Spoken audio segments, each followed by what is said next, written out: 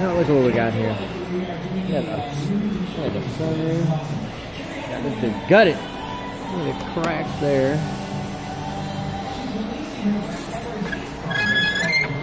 It's cracked here. Oh yeah, it cracked the whole damn piece right there. It separated that whole piece. Base pred problems, as we would call them. Look at that. That's already separated for you, sir. Look at that shit. Wow, I tore that roof up. Look at that, it already separated for you, sir.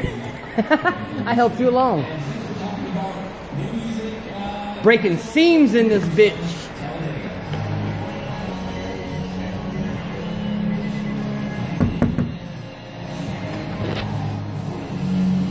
That's it's toast. That one right there.